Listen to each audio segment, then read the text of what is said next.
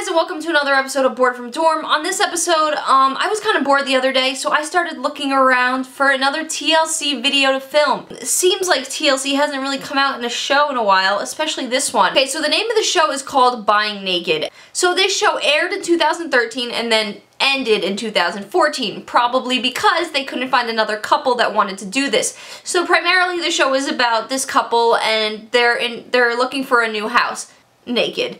Um, I don't understand the entire premise of this show at all. Like, where do they even find these people? Okay, we gotta start breaking these things down. So do the writers of TLC, do they come up with these things and then they blast out these job applications to the public? Like, we are looking for a new show. Are you a nudist who wants to buy a house? And then this one couple responded like, yes, yes we are. Where do you come up with these series? Okay, so First of all, I don't understand. Um, there's obviously the broker, the real estate woman, however real estate works, I have no idea.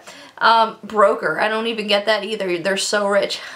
um, so the first place they take them is into the closet, and then the woman has such a, the one, the nudist has such a, a, a magnificent reaction, like, oh my god, yes! I always needed more shoes.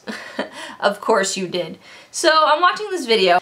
Okay, so there's a pool, there's a backyard, which is really nice because you don't need clothes to really swim, so that's good. I just don't really understand the premise of this show. Wh whatever they have, like, Survivor Naked now, is they're literally just walking around someone's house naked. And then that's my other question. So do the people selling their house know that these people would be walking around naked? Like what if they sit on the couch, he's gonna get his hairy chest all over the couch and she's gonna get her hairy armpits Throughout the entire trailer, they pretty much only show the pool because what else are you gonna do? Are you gonna sit all over these people's furniture? Like, but I think it was, I think it was kind of funny because all the shots that they were filmed in, they had to like either go behind like a banister or, or like the guy had to was like covering with a little folder like what is this show so she's holding the drinks but she has like the shakers over here you know like okay I think my last and final question about this series is so are they just nudists at home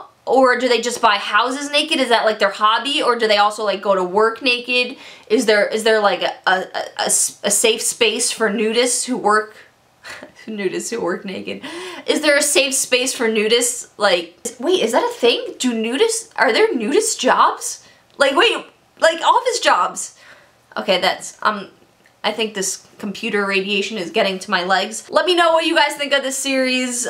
This is crazy to me. Um, luckily, at least they're not the real estate agent and it's not selling naked because that would make a few people uncomfortable. Thank you guys for watching another episode of Board from Dorm. If you guys enjoyed this episode, please give it a big thumbs up. You know what to do, and I will see you guys next Wednesday. Bye-bye.